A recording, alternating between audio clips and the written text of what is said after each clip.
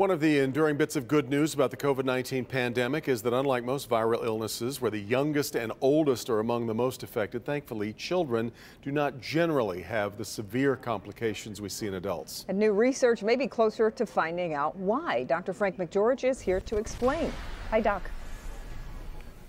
Hey, Kim and Devin. Yeah, let me start out by making something clear. It is not that children don't get infected. They do, and they can spread it to other kids and adults. But compared to older adults, kids develop severe illness much less often.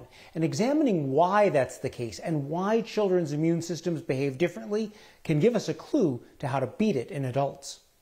Why aren't most kids getting as sick from COVID 19? Well, a recent paper published in the Proceedings of the National Academy of Sciences identified several factors that could be responsible. First, younger kids have fewer ACE2 receptors. That's the area on a cell the coronavirus binds to. It's also possible kids have more recently had other coronavirus infections, the ones that cause the common cold possibly leaving them with some cross protection. Kids with asthma and allergies also tend to have higher levels of cells called eosinophils. That may reduce their risk from COVID. Young immune systems may also get a jump start on the virus. A new study published in the journal Science Translational Medicine looked at the immune response to COVID 19 in 65 children and 65 adults.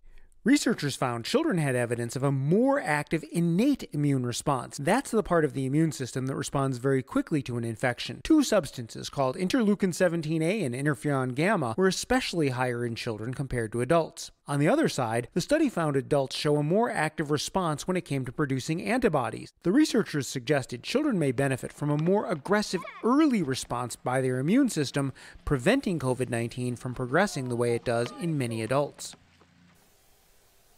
Now, finally, I want to acknowledge that some kids do develop severe disease. You shouldn't be left with the impression that kids don't die from COVID 19. There have, in fact, been six deaths in the 10 to 19 age group in Michigan, but that compares to 1,788 deaths in adults over between 70 and 79 and over 2,800 deaths in people over 80. So clearly, this does disproportionately affect older people.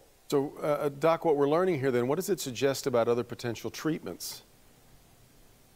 Well, you know, if it turns out that the reason that children are less seriously affected is that they have a more active innate or early immune response, then figuring out how to stimulate that in adults yeah. could actually prove to be super important. Got to get got to get us young again inside. That's exactly right. All right, Frank.